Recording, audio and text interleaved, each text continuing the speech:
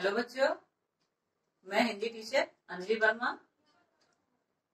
पिछले वीडियो में जैसे कि मैंने आप लोगों को पाठ एक भाषा पढ़ाया था, जिसमें मैंने बताया था कि भाषा किसे कहते हैं। तो भाषा अपने मन के भाव को, विचारों को प्रकट करने के साधन को भाषा कहते हैं। इतना तो आप जानते हैं।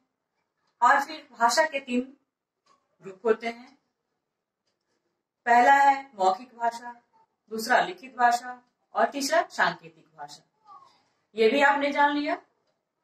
तो हम आज उसी के अभ्यास से कुछ प्रश्नों के उत्तर लिखवाएँगे, जो कि मैंने कल ही बता दिया था आपको। पिछले वीडियो में मैंने बताया था कि आप एक कॉपी लेंगे, जिस पर उसको आप लिखेंगे। तो आपने वैसा किया होगा। ये मुझे विश्वास है। लिखेंगे। पहले तो लिखेंगे पाठ, भाषा, अभ्यास। तो पाठ एक लिखेंगे, उसके बाद भाषा लिखेंगे और फिर अभ्यास लिखेंगे। ताकि पता चले कि हम किस पाठ से किसका प्रश्न उत्तर लिख रहे हैं।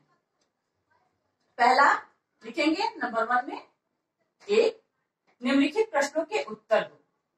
और उसके बाद लिखेंगे क।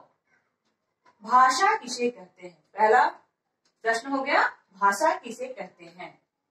तो भाषा किसे कहते हैं? जिसके द्वारा हम अपने भावों या विचारों को दूसरों के सामने प्रकट करते हैं तथा दूसरों के भाव और विचारों को समझते हैं, उसे भाषा कहते हैं। यह हो गया आपका, भाषा किसे कहते हैं?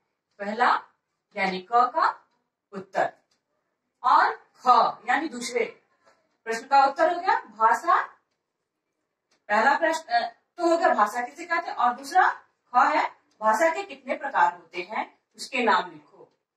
तो ख का उत्तर हुआ, भाषा के कितने प्रकार होते हैं? हमने बताया था, तीन। तो भाषा के कितने प्रकार होते हैं? तीन प्रकार होते हैं। भाषा के तीन प्रकार होते हैं। पहला है मौखिक भाषा, दूसरा लिखित भाषा, और तीसरा सांकेतिक भाषा। अब इसके बाद नंबर एक का अभ्यास हो गया और अब हो गया इसका दो नंबर दूसरा और तीसरा। उसके प्रश्न उत्तर को आप अपने खुद से बनाएँगे, जैसा कि मैंने आपको किताब में पढ़ाया और समझाया है। उसके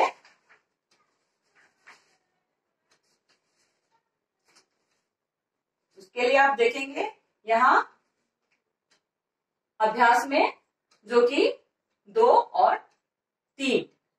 खुद से आप बनाएँगे और फिर हम लोग हम लोग इस पे अगले वीडियो में इस पे बातें करेंगे।